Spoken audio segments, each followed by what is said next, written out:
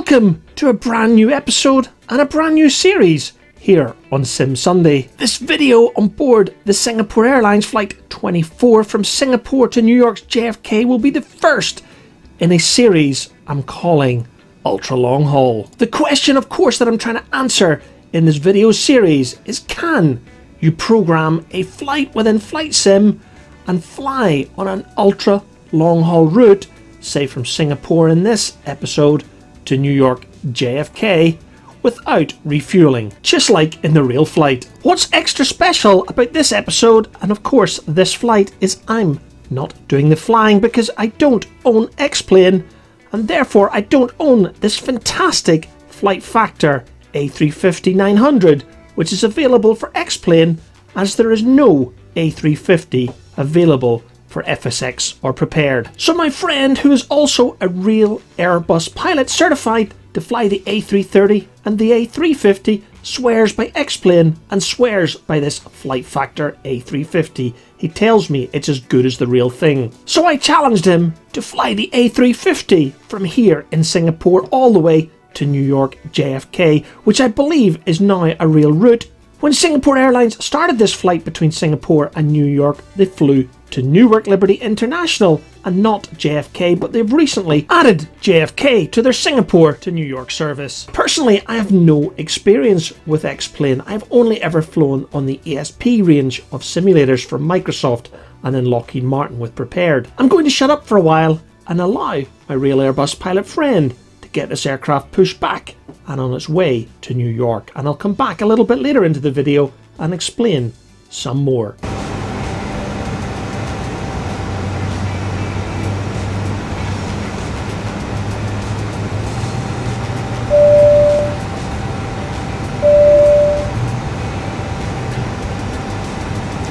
I think it is too warm in the cabin.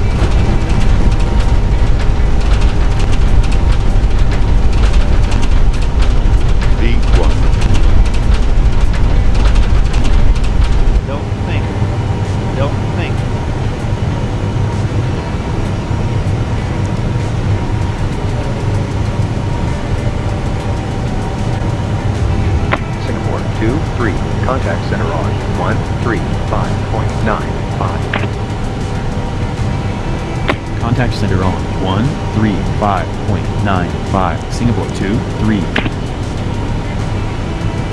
I believe at the time of recording this flight in early December 2020, this flight between Singapore and New York was the longest flight in the world currently, taking around 18 hours. Departing Singapore and heading in a northeasterly direction towards the North Pole, arriving in North America over northern Canada, you'll witness two sunrises. But for me, what is most interesting about this ultra long flight is because Singapore do it in a specially adapted Airbus A350-900 ULR, configured with two classes only, business and premium economy, which of course saves weight and allows Singapore to put more fuel into those extra tanks. However, the question we're asking in this video is can you make this flight in Flight Simulator and therefore in X-Plane 11 and the Flight Factor A350-900. Of course, in Flight Sim you can cheat because you can simply stop the flight halfway through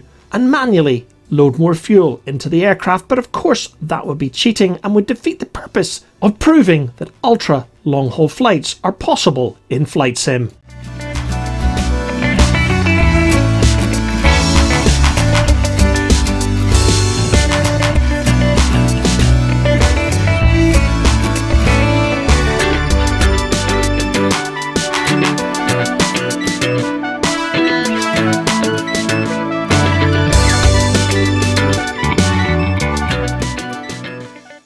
Approaching Long Island and the New York area, we were well into our descent for JFK. My real Airbus pilot friend was telling me that ATC was recommending an approach into runway 13 left, which is an approach that I must admit has never been offered to me in Prepar3D flying in to JFK. The other thing that I should tell you at this point in the video is the scenery you're seeing is stock scenery within X-Plane 11. In fact, the only add-ons you're seeing during this flight are of course the flight factor Airbus A350-900 itself and traffic. Other than that, everything you're seeing is stock to X-Plane 11.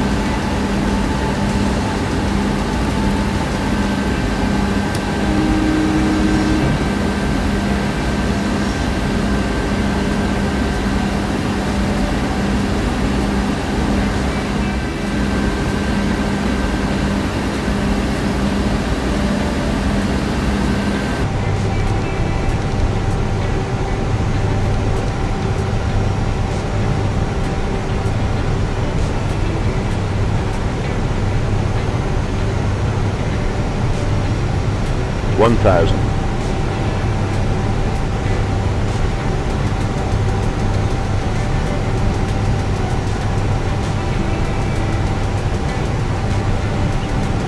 Hundred above.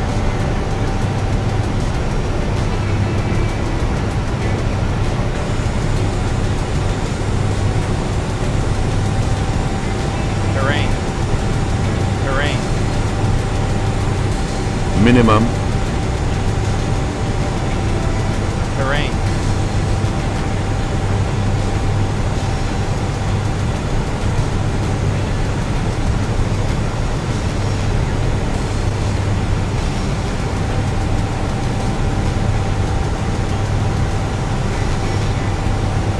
500.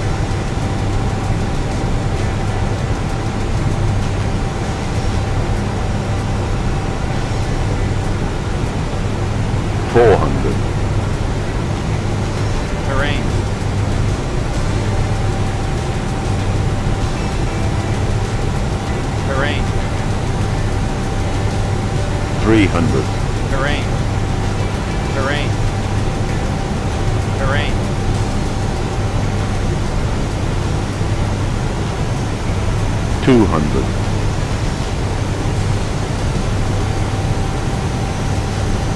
Terrain. 100, 90, 80, 70, 60, 50, 40, 30, 20, 20, 10, 10,